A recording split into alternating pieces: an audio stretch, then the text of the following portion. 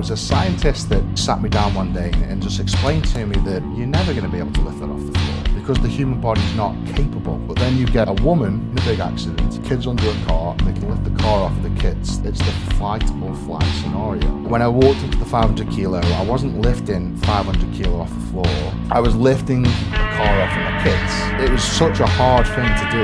Lift that half ton off the floor and put.